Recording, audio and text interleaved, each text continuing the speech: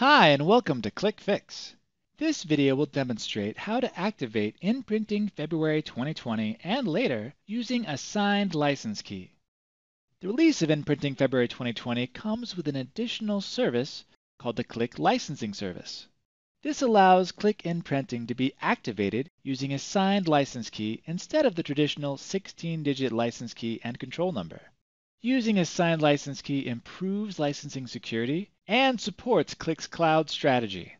You'll receive the signed license key in an email like this example. The same email also contains the standard 16-digit license key and control number. The signed license key is actually a JSON web token that is used instead of the 16-digit number.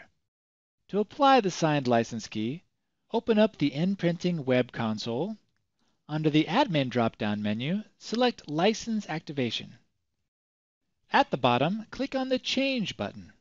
Here is where you can toggle between the two options of license key and control number or signed license key. Once a signed license key has been applied, the license key and control number option will be removed. Now copy the complete JSON web token from the email and paste it into the signed license key section. And click Activate. It's important that NPrinting has external internet access to be able to activate using the signed license key. And now NPrinting has been activated. I hope this helped. If you'd like more information, search for answers using the Unified Search tool on the Support portal. It searches across the Support knowledge base, Qlik Community, Qlik Help Site, and Qlik YouTube channels. Take advantage of the expertise of peers, product experts, and technical support engineers by asking a question in a Qlik product forum on Qlik Community.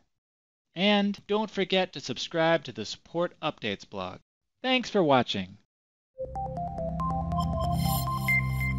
Nailed it.